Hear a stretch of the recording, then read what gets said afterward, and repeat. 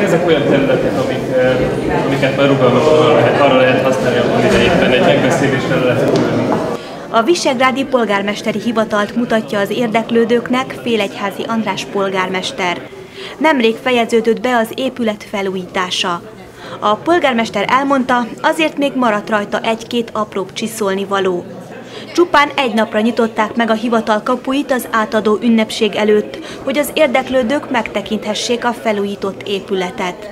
A mai nap megnyitottuk még, ugyan a kivitelező nem vonult le teljesen, de mai nap megnyitottuk a kapukat, és bárki megnézheti üresen az elkészült tereket, de a jövő héten már a bútoroknak az érkezése várható, és lassacskán az irattárral megkezdjük az épület birtokba vételét. Az ezer éves Visegrád városközponti fejlesztése című projekt keretében a polgármesteri hivatal épülete mellett közterületeket és az egészségházat újították fel a településen. A beruházás kivitelezését három részre osztották, részben azért, hogy több vállalkozás számára biztosítsanak lehetőséget, másrészt pedig, hogy az egyik megvalósításának sikertelensége ne veszélyeztesse a másik kettőt. A közbeszerzési szerződéseket 2013-ban írták alá. A közterületek rendbetételét 158 millió forintért vállalta a kivitelező.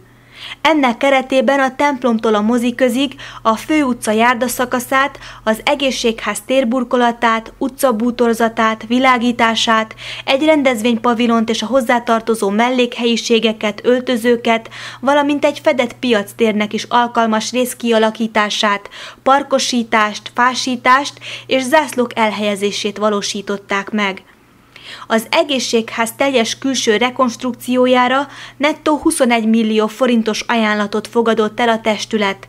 Ennek keretében felújították az orvosi rendelőben a mellékhelyiségeket, valamint egy irodahelyiséget, egy padlásföljárót és lépcsőházat alakítottak ki.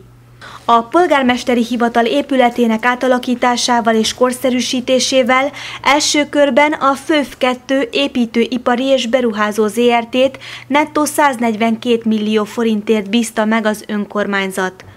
A hivatal dolgozói 2013 nyarán költöztek a Szikriszt házba, ahol megszokott rendben fogadták az ügyfeleket. Ezt követően megkezdődött az épület felújítása, amelyet a tervek szerint 2014-ben kellett volna befejezni. Ám a kivitelező fizetésképtelenséget jelentve félbehagyta a munkát, amelynek akkor 65%-os volt az elkészültsége. Közel egy éves közbeszerzési procedúra után idén nyáron a Halastó Camping Kft. folytatta és fejezte be az építkezést. Bízunk abban, hogy ez a megújult épület, ez nem csak a itt dolgozóknak biztosít majd sokkal kultúráltabb munkakörülményeket, de